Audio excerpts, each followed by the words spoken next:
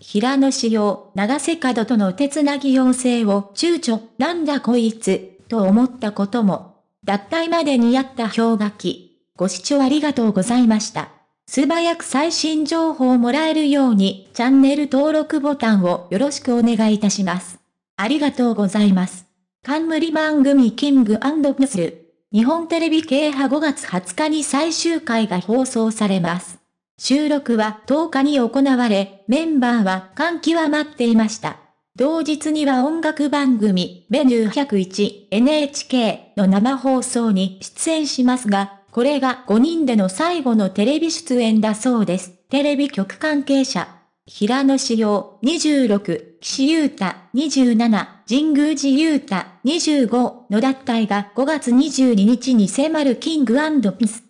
センターとしてグループを牽引してきた平野は脱退と同時にジャニーズ事務所を退場する。最近平野さんが長瀬廉さん24と笑いながら話す姿を見かけました。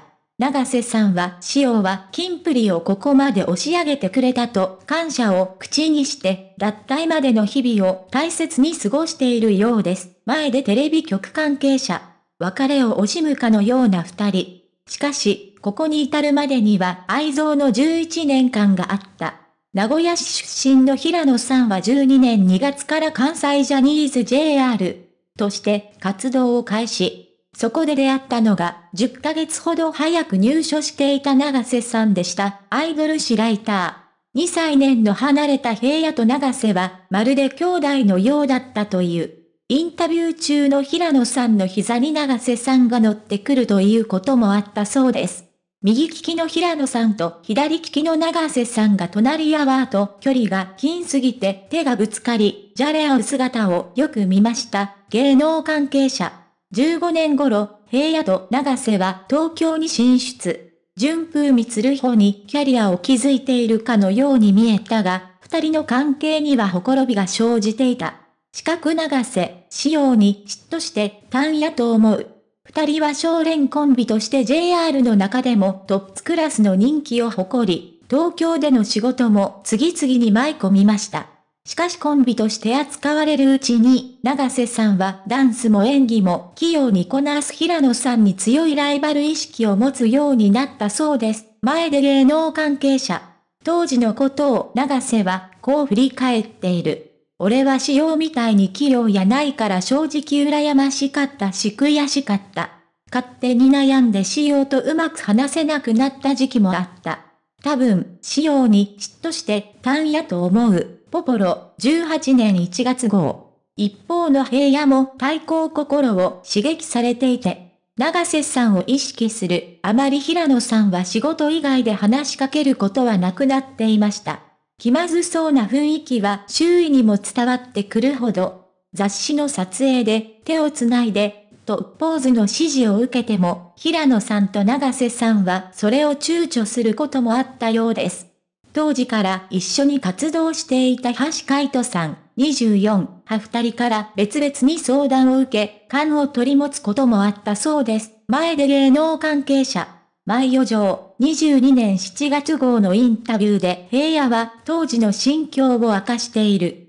角がガラッと人が変わったように感じちゃっていたんですよ、ね。話す回数が一時期減って、今は普通に話しますけど、あの頃はなんだこいつって思ってしまっている自分がいて、二人の間にできた溝にはファンも気づいていたという。テレビ番組などでも少年の目が合わない。とたびたび話題になっていました。ファンの間では氷河期と呼ばれ、二人の仲はいつも気がかりでした。ファンの女性。ようやく雪解けを迎えたのは17年頃だった。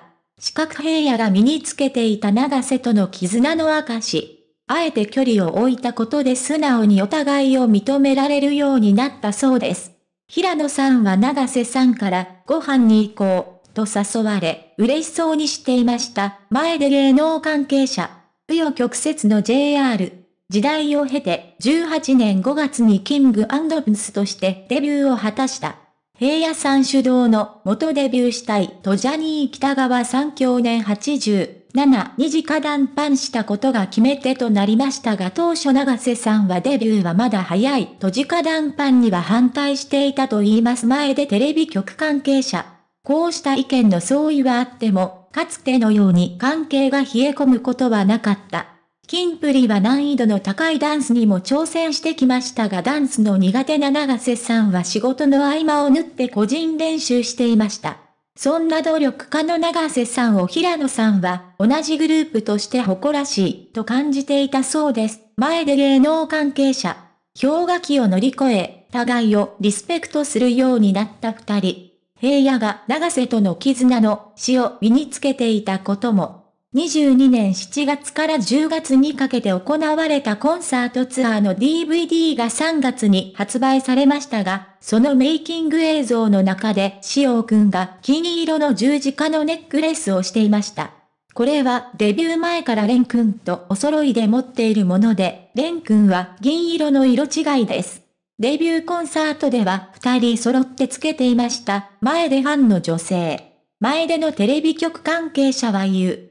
この映像が撮影された頃には平野さんはすでに脱退を決めていたのではないでしょうか。共に切磋琢磨して頼もしく成長した長瀬さんに今後の金プリを託したいという思いでネックレスをつけていたのかもしれません。たもとを分かつこととなった平野と長瀬。